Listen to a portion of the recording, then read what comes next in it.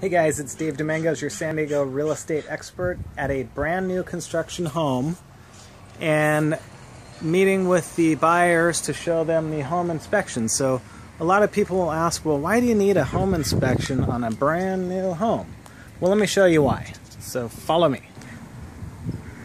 Okay, as you can see here, the stucco isn't actually up to the bottom of that edge. That actually holds the stucco up for the side of the house. Follow me down to the next little section. Of course, that's not a, a, huge deal. If you notice here, there's actually a trip hazard. On the other side of this door, there's a little lip on that sill. And then the bottom side of the door, you can see air going through there.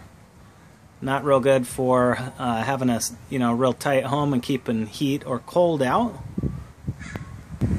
As we walk around to the side, imagine this. You're walking by here at night and you are not paying attention, you can't see, and there you have a trip hazard.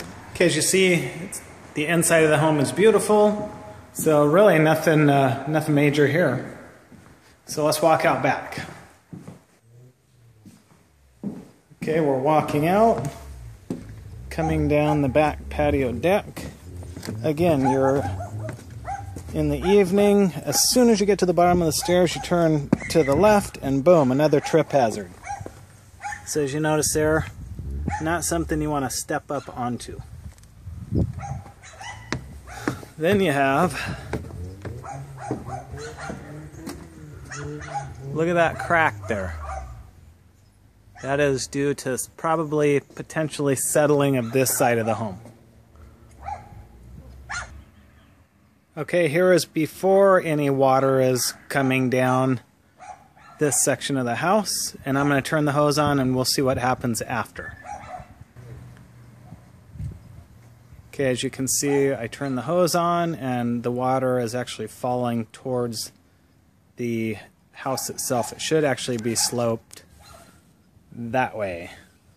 So there you have it, a few more reasons why to have a home inspection even on a brand new home. You have a great day.